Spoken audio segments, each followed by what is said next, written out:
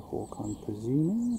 Just coming into my area, it's just caused some pigeons in the area to flee. You can see its tail feathers are a bit messed up.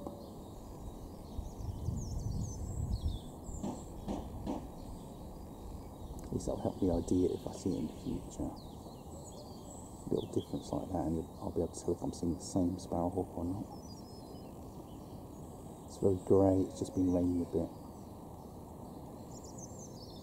It's a little bit past noon. Lost focus on it. It's so far away, it's just a speck in the sky. Human eye just looks like a little speck. You wouldn't be able to tell it's a sparrowhawk really most of the time.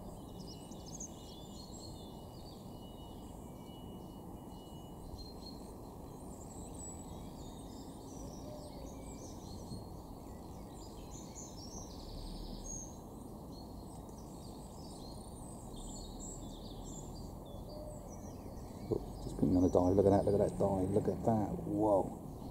It's just gone to try and kill something it spotted flying at a lower level. You see how quickly they can dive. And their preferred meal is collared doves, unfortunately.